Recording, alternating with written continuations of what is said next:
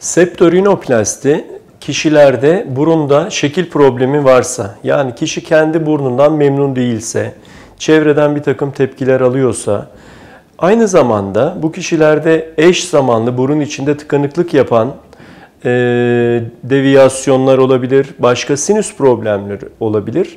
Bunlar da varsa hem şekil hem de fonksiyonel problemi çözmek için yapılan bir ameliyattır. Kişiye göre tasarlanır. Açık ya da kapalı teknik olarak yapılabilir. Ameliyat genellikle genel anesteziyle ameliyathane koşullarında yaklaşık 2-3 saatten başlayan sürelerde yapılan bir ameliyattır. Ama çok minimal burun ucundaki problemlerde daha e, basit anestezi yöntemleriyle, lokal anesteziyle ya da sedasyon yöntemleriyle de yapılabilir.